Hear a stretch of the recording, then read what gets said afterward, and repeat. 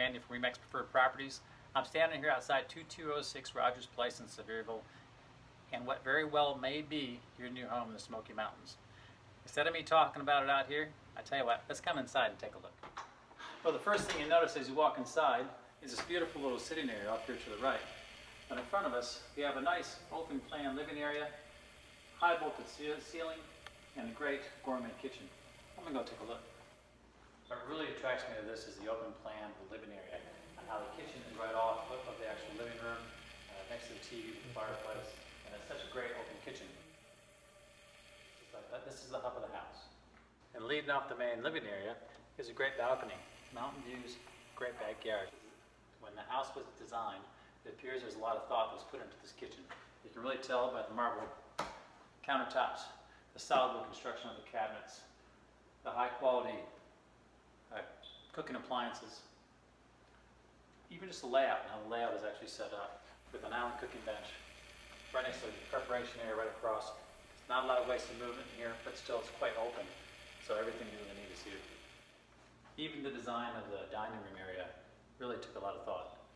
Just having it right off where the kitchen area is set up here, it's a good open space for a large table for a large family. It's a good gathering area. Here is another great feature of the house that I really like a loft on top of the kitchen. You can use it as an office space, a kid retreat, a parent retreat for that matter. Great conserving space. And of course, always a smart design, having your garage right off the kitchen, so you can park your cars, all three of them, and maybe two in a boat, inside the garage, grab your groceries, step right out, right in the kitchen. Good design. Coming out the main hub of the house, you go up the stairs to the beautiful, well-presented master bedroom. Another two bedrooms down the hallway, and a fourth bedroom just off the living room area. And then you walk downstairs to a fully finished basement zone, which is a great rec room setup. You can see here the master bedroom area is really something special. With this large space, its own sitting area, vaulted ceiling, and most notably, the built-in jacuzzi. Plus it leads out to a deck with fabulous mountain views. Coming down the stairs, this is probably where you're going to spend most of your time. It's a great open living space.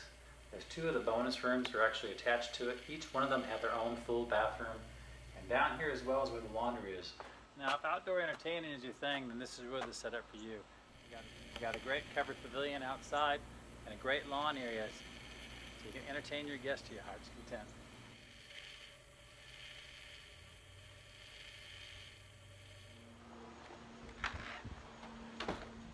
So there you go. What'd you think? Your new home in the Smokies? Possibly so. If so, or if you're thinking about it, or if you just want to come out and take a look, give me a call. I'm Randy from Remax Preferred Properties. All the details are on the screen. If you don't have time for a viewing, make sure you check out the 363 video that's on the property website. All the details are again below.